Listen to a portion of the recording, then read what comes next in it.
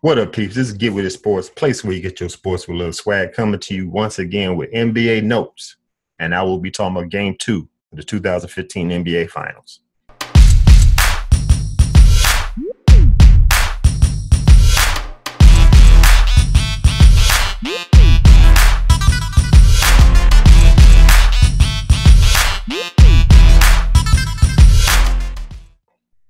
Game two was at Oracle Arena, Oakland, California, home of the Golden State Warriors. Finished off the season with the best record, the most complete all around team out there, going up against Cleveland Cavaliers. That's missing two of their three superstars. And they're resting all of their their whole finals, the season on LeBron James. And LeBron James just showed you why he is the best player hands down in the league this era.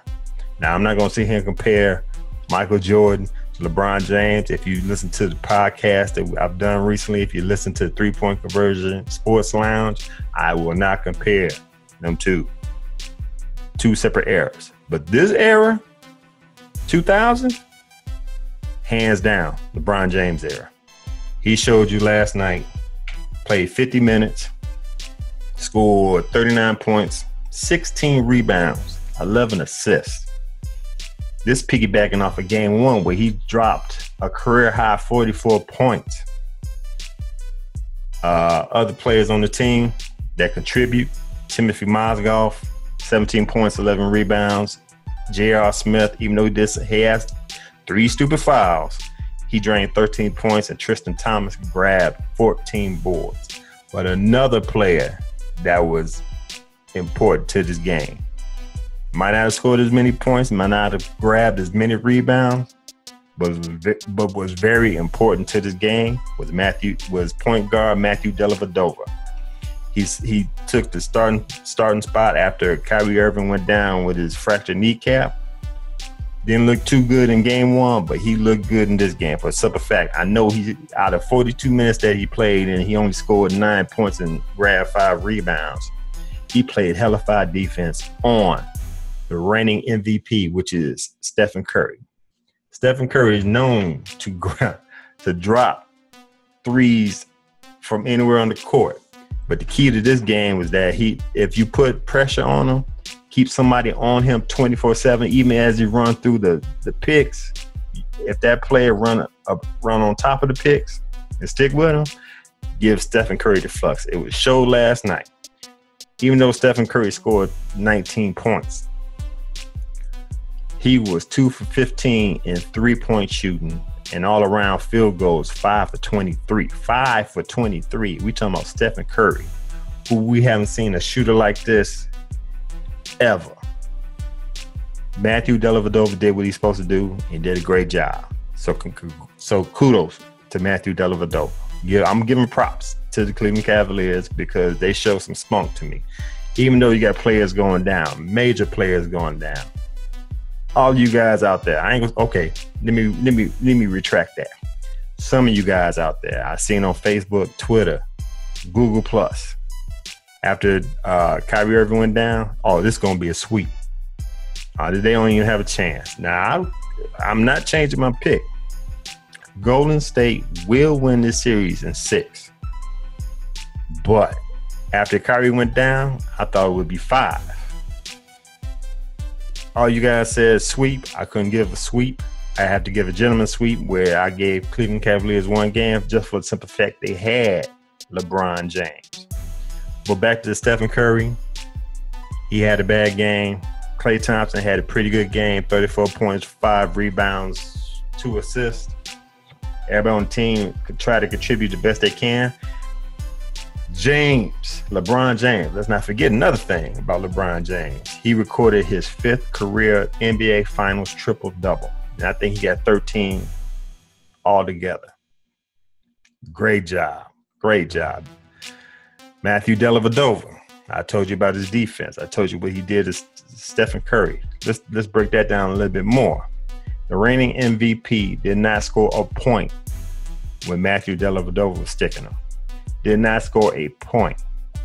Curry was 0 8 and had four turnovers when Delly was sticking up.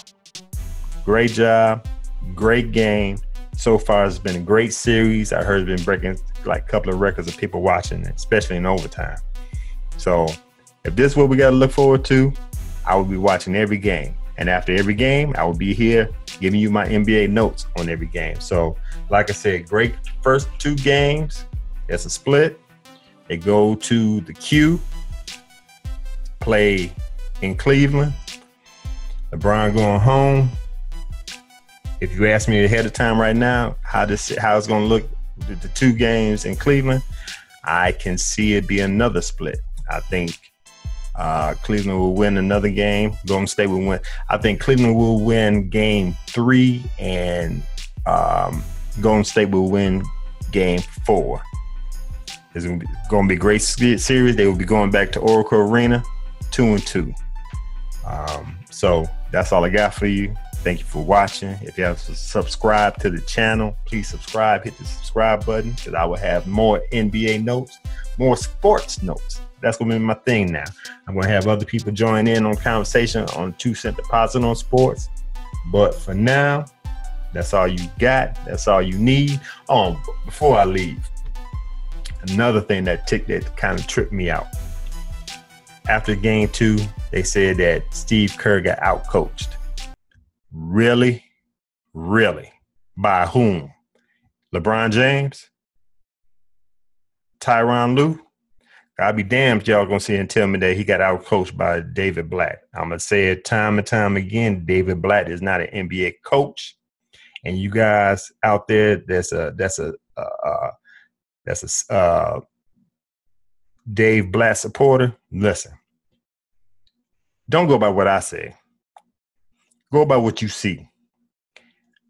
Point I'm saying is after game two, when LeBron James was giving everybody chest bumps, daps, hugs, all that stuff, Dave Blatt, if I can find a video, I'll put it on here. But Dave Blatt tried to get a hug from LeBron James. LeBron James gave him the GTOFH. If you don't know what that is, take time, let it marinate, think about it. But that's what LeBron James gave to him at the end of the game. So if LeBron James doesn't respect David Blatt, how you expect me to respect him? He's showing you that he, he don't consider uh, Blatt as their coach. And I'm just going to leave it at that. Look at how he treats Erik Spoelstra when he was in Miami. And look how he's treating David Blatt now.